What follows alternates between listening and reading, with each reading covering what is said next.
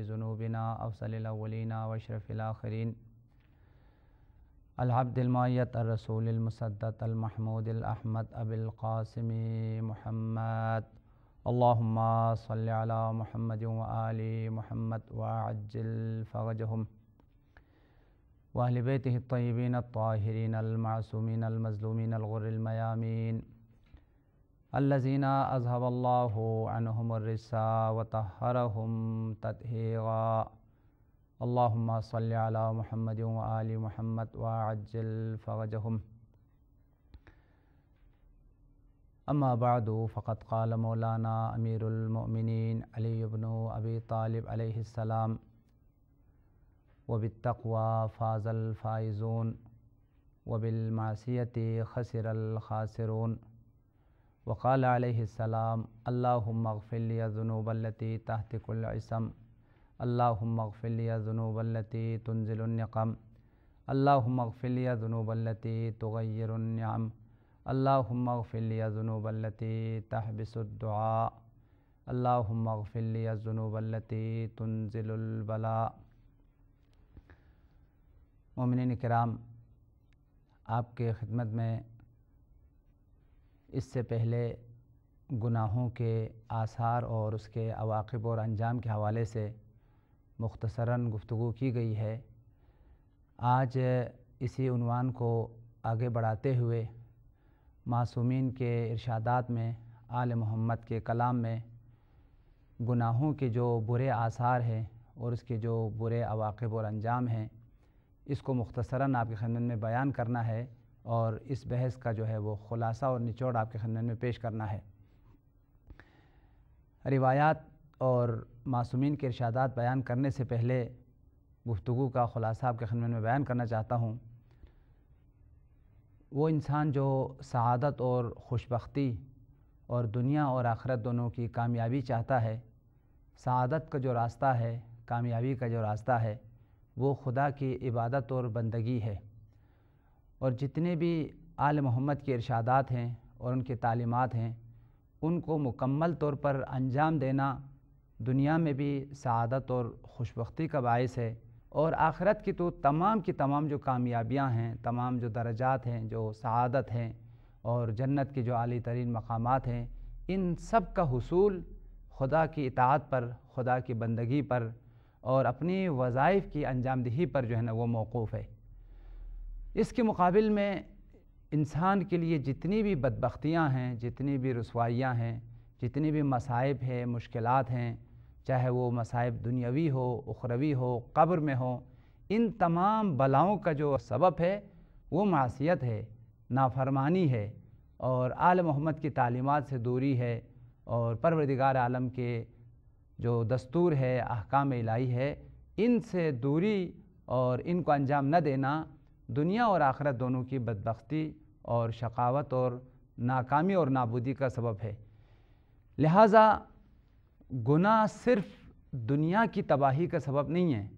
वो इंसान जो गुनाह करता है, उसके लिए दुनिया में भी बहुत सारे मसाइल व परेशानियाँ और मुश्किल का सामना है। बहुत सारी रसवाइयाँ हैं, बदबख्तियाँ हैं और कब्र में भी उसके बहुत बुरे आसार है नतज है। फ़िशार कब्र है, अज़ाब कब्र है और मुख्तलिफ़ अनवा और अकसाम के अज़ाब उसको कब्र में गुनाहों की वजह से है। और इसी तरीके से क़यामत में भी जितने भी दर्दनाक अज़ाब अक़ाब और जहन्नम के होलनाक अज़ाब को बयान किया है कुरान पाक में, इन सब की जो बुनियादी सबब है, वो इंसान की नाफरमानी है और इंसान के गुनाह है। लिहाजा गुनाह का असर सिर्फ़ दुनिया तक नहीं है। गुनाह का असर बहुत अमीक है, बहुत दूर रस है और गुनाह जो है वो दुनिया को भी तबाह कर देता है और कब्र में भी अजाब का बायस है और आखरत में भी जो है ना वो अजाब का बायस है। अब हम रिवायात की रोशनी में इन्हीं आसार को और इन्हीं बुरे अंजाम और अवाकब को आल मोहम्मद के कलाम की रोशनी में आपके खनमन में बयान करेंगे।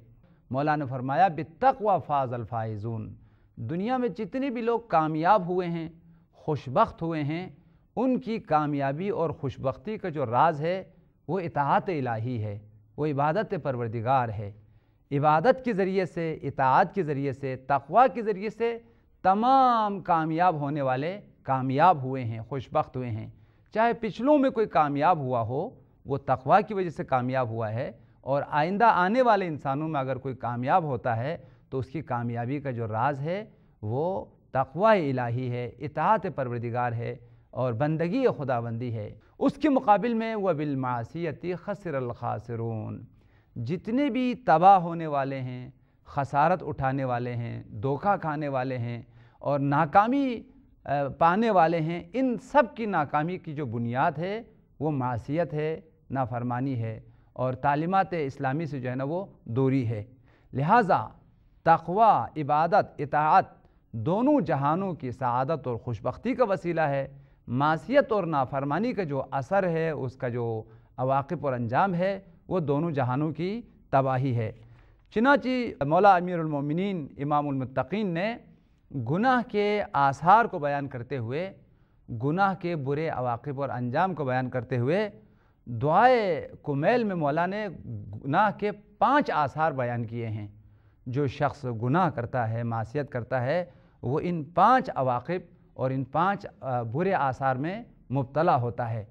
और बारगाह इलाही में हमें मौला ने ये तालीम दी है, तुम इस तरीक़े से दुआ मांगो ताकि ये गुनाह जो तुमने किए हैं, ये मासीतें जो तुम्हारे हाथों से अंजाम पाए हैं, ये इन बुरे आसार में तुम मुबतला ना हो जाए और एक तरफ़ से गुनाहों के आसार को बयान किया है, दूसरी तरफ़ से ये दुआ तालीम दी है कि जो गुनाह तुमसे सरजत हुए हैं, उसकी बारगाह इलाही में तोबा करो इस्तफ़ार करो और दुआ मांगो कहीं ये बुरे आसार में तुम मुबतला ना हो जाए और खुदा से मगफरत जो है वो तलब करो। दुआ कुमेल की इब्तदाई जुमलों में आया है, मौलाना फरमाया अल्लाह मगफिलिया जुनूबल्लती तहतिकुलसम पाँच आसार बयान किए हैं। सबसे पहला असर गुनाह का ये है कि खुदाया मेरे उन गुनाहों को बख्श दे, जिन गुनाहों की वजह से मेरी तोहन होती है, मेरी तहकीर होती है, मेरी ज़िल्लत और रसवाई होती है।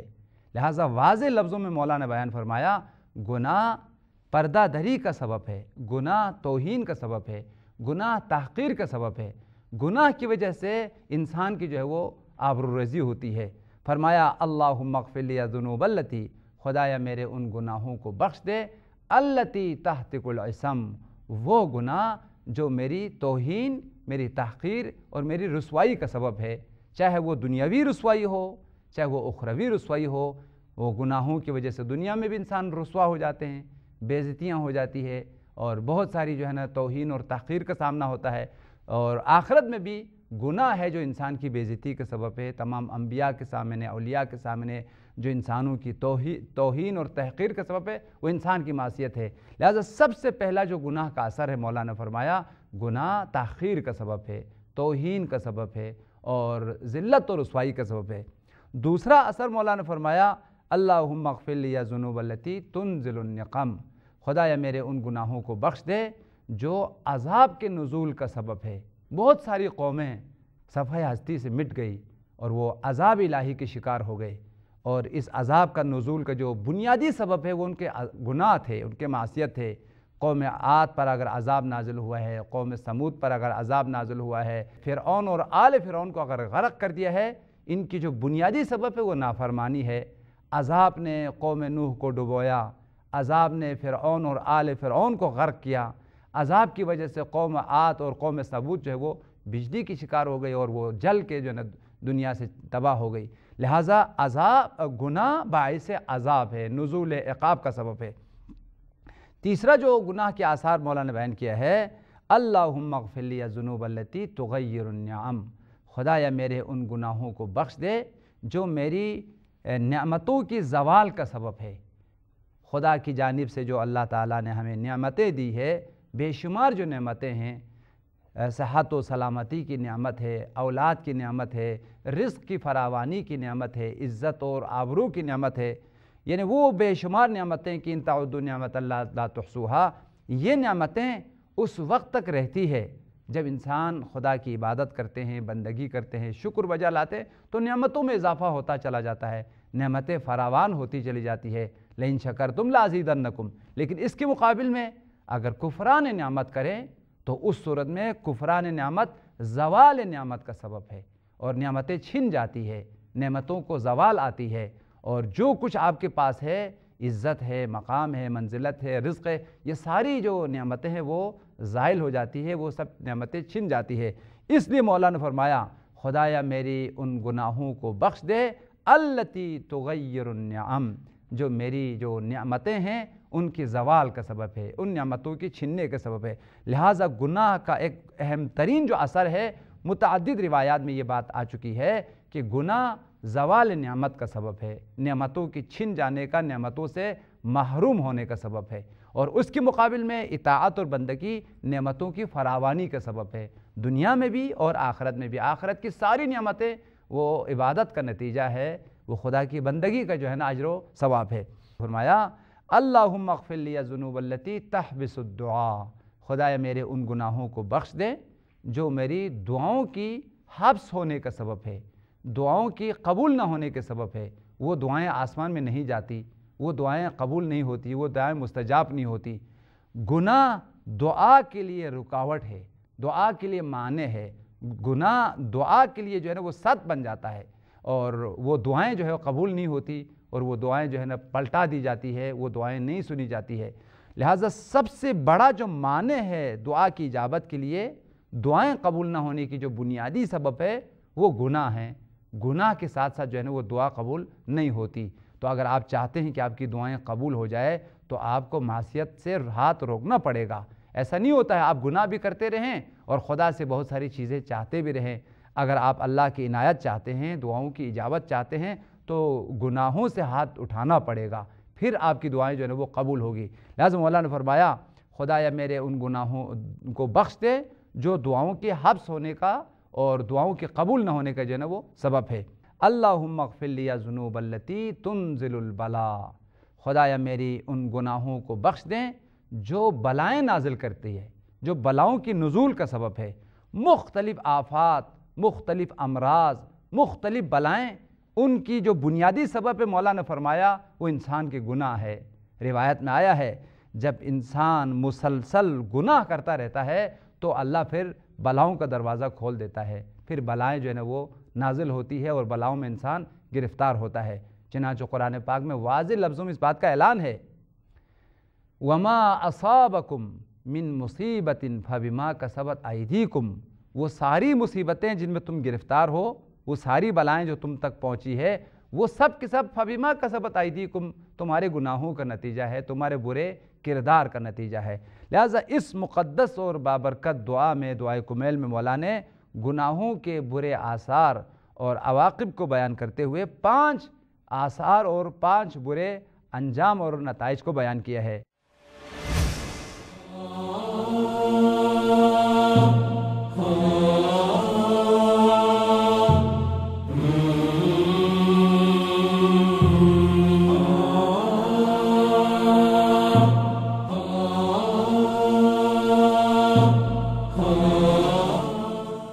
हज़रत सदक आल मोहम्मद ने इनकी जो एक एक गुना, तोहन होने इंसान की तोहन के सबब तोहन के सबब जो गुना हैं या बलाओं के नज़ुल का सबब है, वो गुना एक एक को तफसील से मौला ने बयान किया है। एक तरफ़ से कौन से गुना हैं जिनकी वजह से बेजतियाँ होती है, वो कौन से गुना है, जिनकी वजह से दुआएँ कबूल नहीं होती है वो कौन से गुलाएँ, गुनाह हैं जिनकी वजह से इंसान की नियामतें छिन जाती है? एक एक को मौलाए में इमाम सदक ने तफसील से बयान किया है। इस रिवायत को शेख मुफीद ने किताब अख्तसास में सफ़ा नंबर दो सौ अड़तीस पर नकल किया है और इसके रावी है हज़रत सदक आल मोहम्मद के बेहतरीन और इंतहाई वफ़ादार तरीन सहाबी जनाब अब्दुल्ला इबन सिनान। अब्दुल्ला इबन सिनान ने इमाम सदक से ये रिवायत जो है वो नकल किया है। अन अब्दुल्ला इबन सिनान अन अबी अब्दुल्ला काल अब्दुल्ला इबन सिनान ने फरमाया इमाम सादिक का फरमान है अजनूबुल्लती तगैरम वो गुना जिनकी वजह से नेमतें छिन जाती है नेमतों को जवाल आती है वो कौन सा गुना है मौला ने फरमाया अलबगयू वो जुल्म और सितम है अगर इंसान दूसरों पर जुल्म करेंगे सितम करेंगे दूसरों के हकूक़ को छीनेंगे और दूसरों के माज अल्लाह उस पर सितम करेंगे, तजावज़ करेंगे तो उस सूरत में खुदा पे अपनी नेमतों को छीन लेगा। लिहाजा वो गुनाह जो नियामतों की जवाल का सबब है मौला ने फरमाया, जुल्म और सितम है जो जवाल नियामत का सबब है। व जुनूबल्लती तूरसुन्नदम अलकतलो वो गुनाह जो पशीमानी का सबब है, नदामत और शर्मिंदगी का सबब है, वो कत्ल है। इंसानी खून का बहाना, इंसानी जान को ज़ाया करना, ये दुनिया और आखरत दोनों में शर्मिंदगी का बायस है नदामत और रसवाई का बायस है मज़ीद फरमाया वलजुनूबुल्लती तंजिलकम अज़ुल्म, वो बलाएँ, वो गुनाह जो बलाओं की नज़ुल का सबब है या अजाब और इक़ाब के नज़ुल का सबब है, अजुल्म, वो जुल्म और सितम है। जुल्म और सितम अगर किसी माशरे में रवाज हो जाए तो उस माशरे में खुदा का इक़ाब नाजिल होगा, फिर वहाँ अजाब नाजिल होगा। वजुनूबुल्लती तहतरा शुरबुलखमरी वो गुनाह जिसकी वजह से इंसान की तोहन होती है, तहकीर होती है, रसवाई का सबब है, वो शुरब खमर है। शराब नोशी इंसान की तोहन का सबब है, इंसान की तहकीर का सबब है। यानी वो इंसान जो शराब पीता है, शराबी इंसान दुनिया में भी जलील हो जाता है और आखिरत में भी जो है वो रसवाई का जो है ना वो सबब है। लिहाजा फरमाया व जुनूबल्लती तहतिकुलसम शुरबुलखमरी वो गुनाह जो इंसान की तोहन का सबब है और तखीर का सबब है, वो शराब नोशी है। व जुनूबल्लती तहबिसरिस्क अजना वो गुनाह जिसकी वजह से इंसान की रिस्क में कमी आती है और रिस्क जो है वो छिन जाती है, मौलाना फरमाया, वो जना करना है। जब माज अल्लाह इंसान इस जनाकारी के इस फेल को अंजाम देता है तो उससे, फिर इंसान खुदा के रिस्क से महरूम हो जाता है रिस्क का दरवाज़ा बंद हो जाता है। वजुनूबुल्लती तो अज्जलफ़ना क़तरहम और वो गुनाह जिसकी वजह से इंसान जल्द मर जाते हैं। इंसान की उम्र में कोताही आती है, और बहुत जल्द जो है वो मौत का सबब है, बहुत जल्द फना हो जाता है दुनिया से वो इंसान चला जाता है। मौला ने फरमाया, वो गुना क़त रहम है।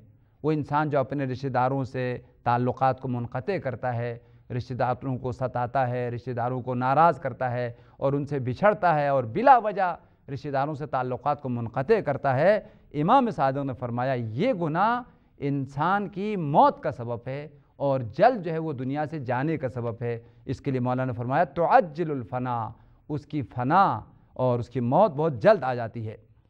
वजुनूबुल्लती तहबसुद्दुआक़ूक़ुलवालदेन देखें, ये मैं इंतहाई मुद्दवाना आप हजरात के खंदन में गुजारिश करता हूँ।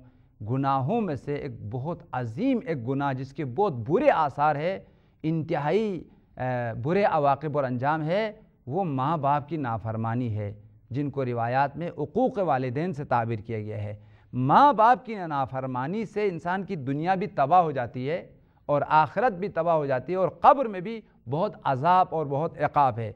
ख़ास तौर पर मौला इमाम सादक ने फरमाया, वो गुनाह जिसकी वजह से दुआएँ कबूल नहीं होती, वो माँ बाप की नाफरमानी है।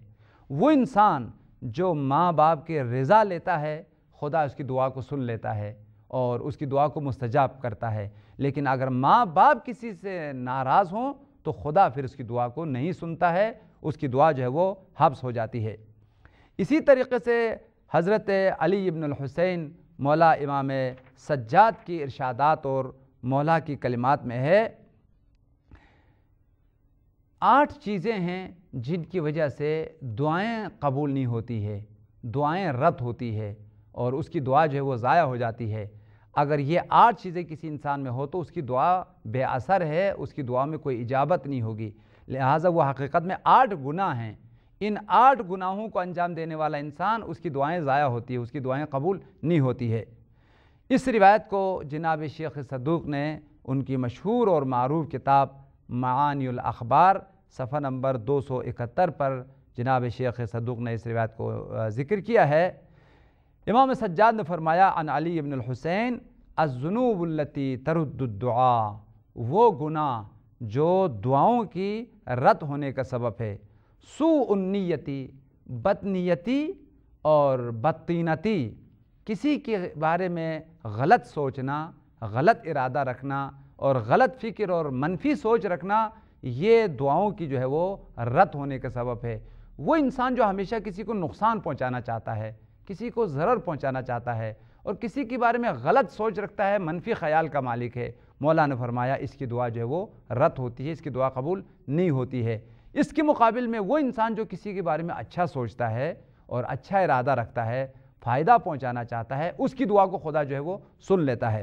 लिहाजा सबसे पहला गुना जो दुआ के रद्द होने के सबब है, वो मनफी ख्याल, मनफी सोच, जिसको रिवायात में सुन्निया और खूबसूरत सरीरा से ताबीर किया गया है।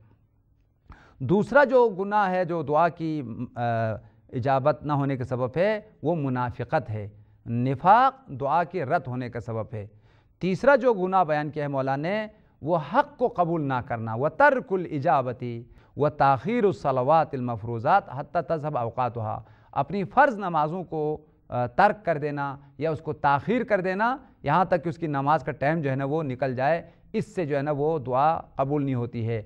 नमाज़ दुआ की कबूलियत का सबब है। ख़ास तौर पर नमाज़ को अव्वल वक्त में पढ़ना, मस्जिद में पढ़ना, जमात के साथ पढ़ना, ये दुआओं की इजाबत का सबब है, गुनाहों की मगफरत का सबब है।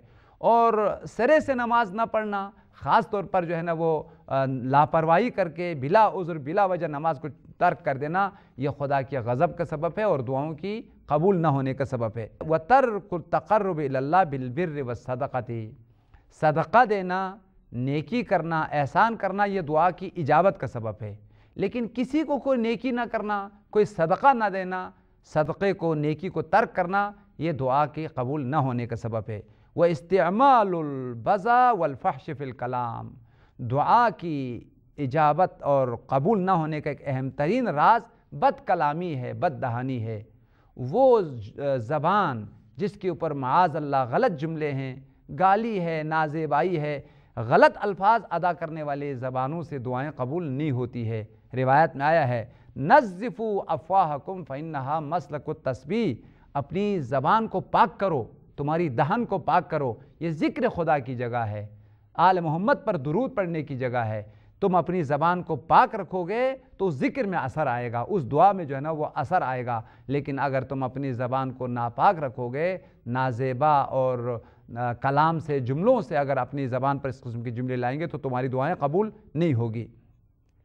वज़नूबल्लती तहबिसुलगैस और वो गुनाह जिसकी वजह से बारिशें रुक जाती है, गुनाह के आसार में से गुनाह जब अंजाम पाता है तो बारिशें रुक जाती है और खुदा के रहमत से महरूम हो जाता है। नतीजतन कहत साली इंसानों के लिए, जानवरों के लिए हज़ारों मसाइल मुश्किल पैदा होते हैं बारिश का ना होने से।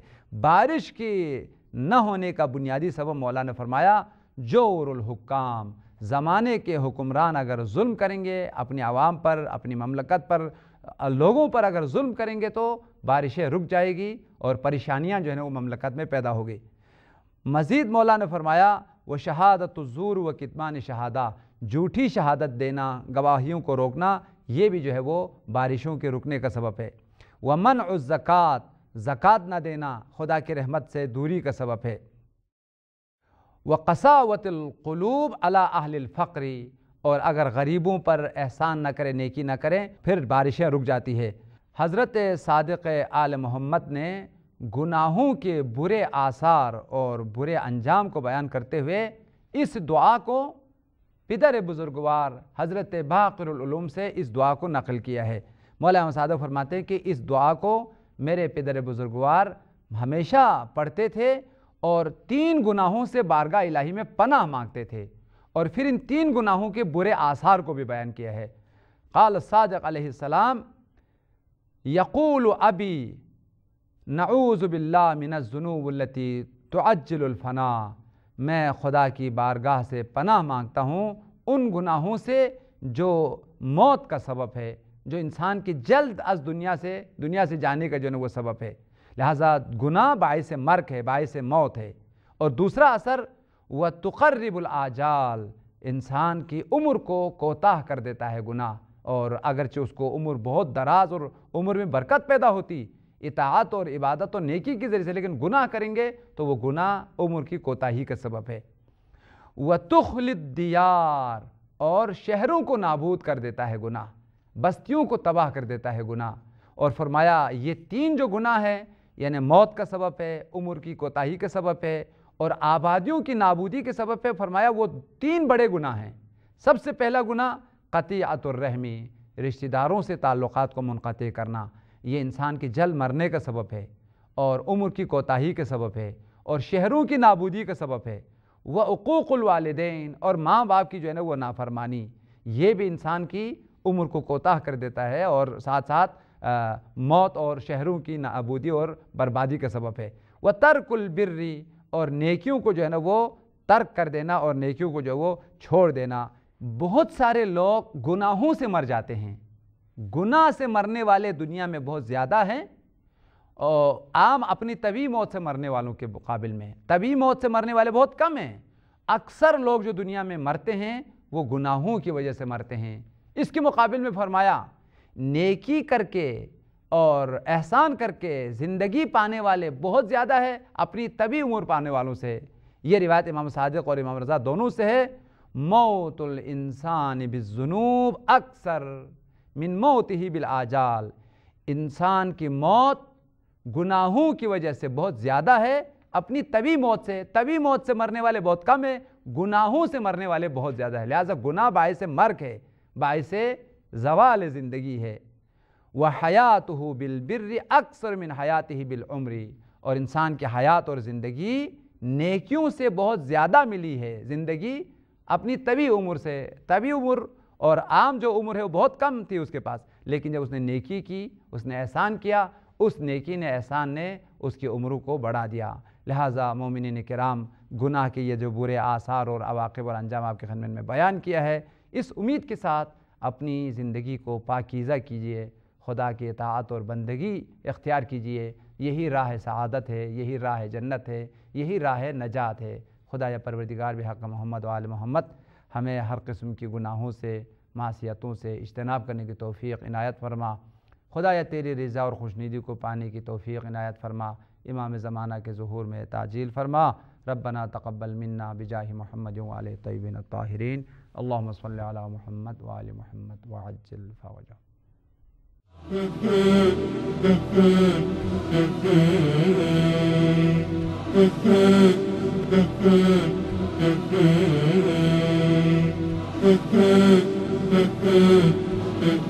Mm-hmm.